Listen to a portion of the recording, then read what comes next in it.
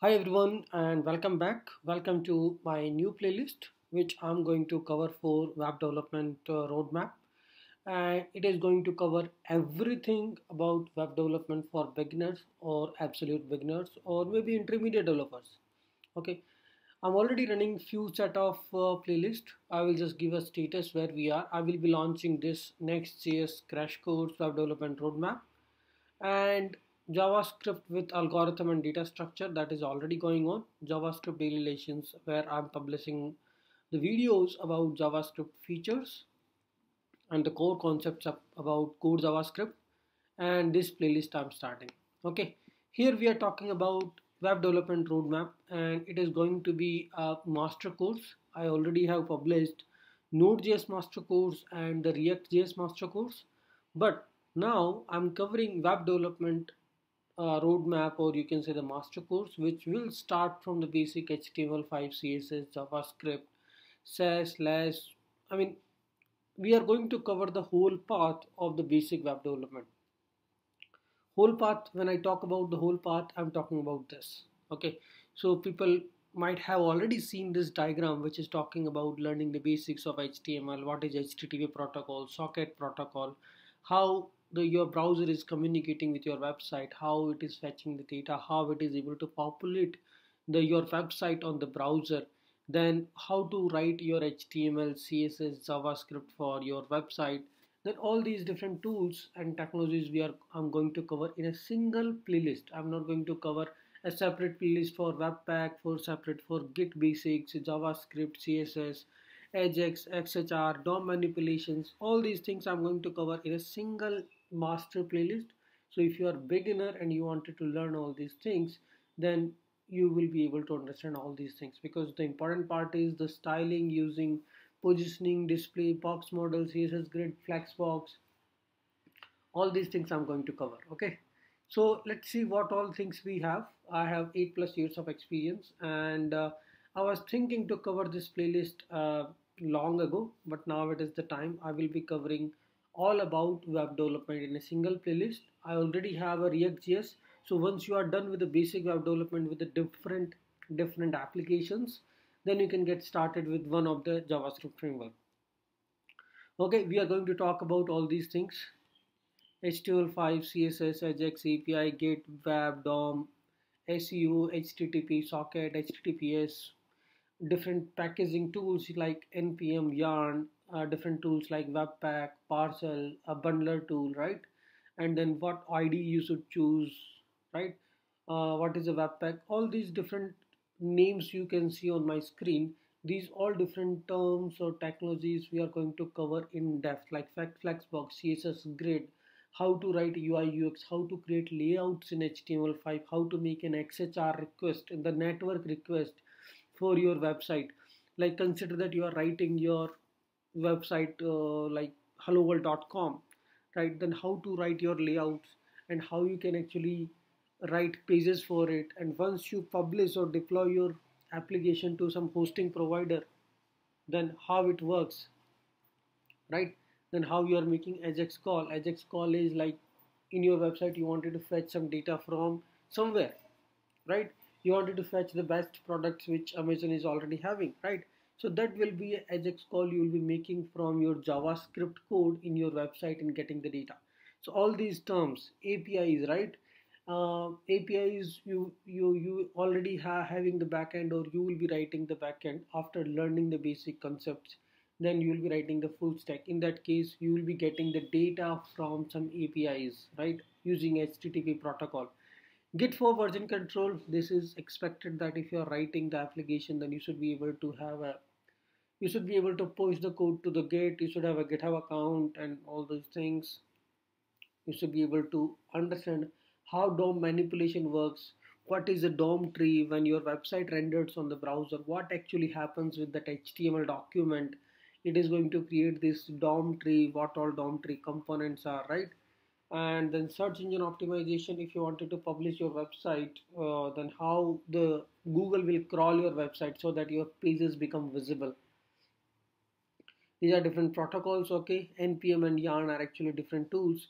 Now we are not writing the code in the old school. Now we are using the javascript package managers like npm yarn. We are having the package package.json installing the modules and then deploying the application to either heroku netlify digitalocean all these platforms. Different tools ids we are going to cover right? So if you talk about the course overview for the beginner 100 set of videos I will be covering HTML5, CSS and the stylings using different framework like either you use Flexbox, CSS Grid, right? Or advanced CSS where I will be talking about the positioning, layout, display properties and the bootstrap grid design HTML5 advanced level where we will talk about the canvas, uh, the local storage, cookie storage, session storage. HTML5 basics we will talk about the form validations, HTML5 layouts, HTML5 new tags which has been introduced. Then CSS building blocks, right? CSS box model, how you can debug the CSS which is displayed on the browser by inspecting the CSS and changing the hover, focus, pressed properties or by just randomly changing the font family, font size, margin, padding, padding, all these properties. Okay, so this this roadmap course is going to be full-fledged one single course because I don't want developers to look at 10 different places to learn a single thing. It will be a single place. So what we are starting with is how HTTP works. If you wanted to build your own website like tkssharma.com, my own website, I, I need to have understanding about how HTTP work, how this domain naming work, how can I purchase domain name, how can I host my website once I have my web pages ready, right? First of all, to build the website, I need to have understanding about HTML5, CSS if I'm putting some form, then form validations, HTML5 new tags, sections, HTML5 layouts, right? All these things then I should be able to have a good understanding about DOM manipulations Ajax. Then coming back coming to the JavaScript knowledge where you should have a good understanding on core JavaScript ES5 ES6 and then understand all these core JavaScript concept which is talking about event bubbling hoisting prototype object proto function prototype right? Shadow DOM DOM manipulations and then once your code is ready you will be putting it somewhere on the github right? So that you can deploy it somewhere. So you will be putting the github so you should have an understanding on version control system either gitlab github bitbucket anywhere. Then if you want to write some kind of a framework then you should have understanding on these yarn npm kind of a package managers which will help you to use other tools from javascript tool set like you can use webpack parcel all other tools right? Css architectures you can use sass post css css modules. And then finally till here we are going to cover because below to that we are co covering frameworks. So my target is not to cover framework but using the vanilla html css javascript we will build applications and we will use these build tools like npm script webpack module bundlers the linters which will help me to format my code properly with proper guidelines and the rules which javascript enforces on us. Okay this is my criteria uh, or this is my target to cover.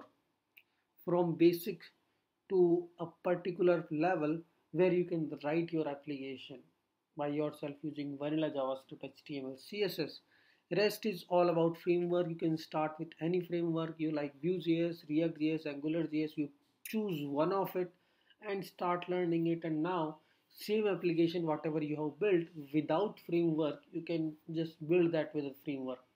What happens in the current scenario is people don't look at the core aspects of javascript and web development. They start building applications with a vue.js and react.js in that case they are missing the core parts. They don't know how the event delegation works event bubbling right? Prototypes proto how to write functions how to create object how to do the object cloning. So the basic aspects of javascript is missing there. You can learn framework and you can write application but that level of confidence because the same application you should be able to write with a vanilla javascript. If i talk about simple writing simple to do application with react that 90 out of 100 will be able to write if I talk about writing the same to-do application with vanilla JavaScript where you are doing a DOM manipulations, document.get element by ID, query selector, query selector all, and doing DOM manipulations using um, by adding the event listeners to the buttons when user click on it. That is little trivial, right? And people will not be able to independently will be able to do it because that is little tricky okay and that is time consuming also but that is clearing out your base concept. So you should start from the basics to the advanced okay so this is my target and you already know what we are going to talk about is currently we are talking about the client side. Means you are writing this is you and you are writing your uh, application using html css javascript. Okay once you have your project ready you will be hosting your website somewhere okay? And then when you enter your website name.com you will send a request to the internet.